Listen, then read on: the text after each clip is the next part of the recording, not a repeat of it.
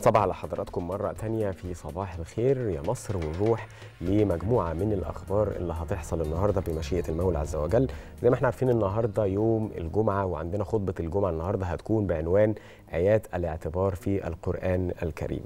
كمان النهاردة هيتم إطلاق معرض رؤى تصويرية ده لطلاب جامعة عين شمس.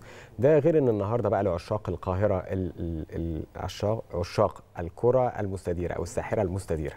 هيكون افتتاح الجولة الخامسة من الدوري الألماني ما بين بروسيا دورتموند وهوفنهايم.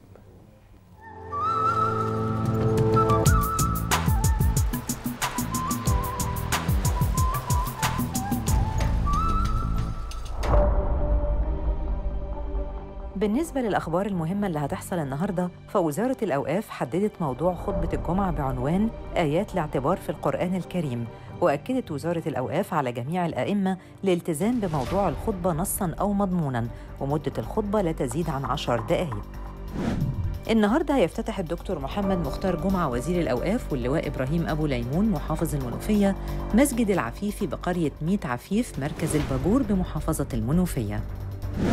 كمان النهارده هتستضيف مكتبة المستقبل الساعة 5 العصر معرض لفنون الرسم والتصوير بعنوان رؤى تصويرية بيضم حوالي 40 لوحة فنية من نتاج طلاب الفرقة الثانية بكلية التربية النوعية بجامعة عين شمس. المعرض هيستمر لمدة 3 أيام. لعشاق الدوري الألماني موعدهم النهاردة مع المباراة الافتتاحية للجولة الخامسة من عمر المسابقة هيلتقي فريق بروسيا دورتموند مع هوفنهايم الساعة 8:30 بالليل